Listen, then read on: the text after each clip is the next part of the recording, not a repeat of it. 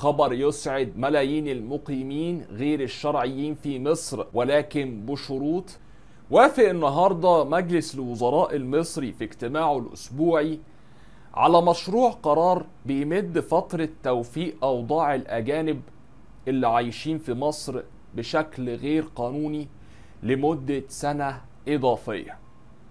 القرار ده هدفه إن يدي فرصة للناس دي إنها توفق أوضاعها وتبقى ماشية على القواعد والشروط اللي موجودة في قرار رئيس مجلس الوزراء.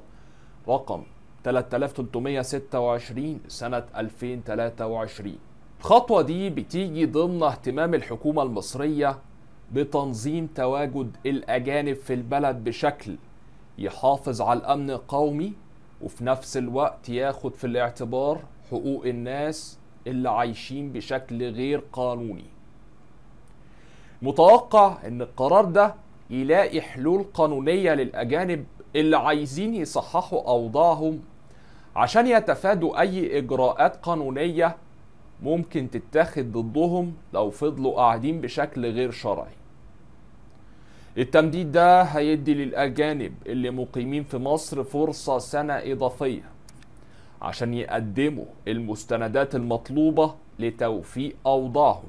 وكمان يستفيدوا من الفرص المتاحة للعيش والشغل بشكل قانوني وده هيساعد في تحسين ظروفهم وضمان حقوقهم في الإقامة داخل مصر. أترك لحضراتكم التعليق.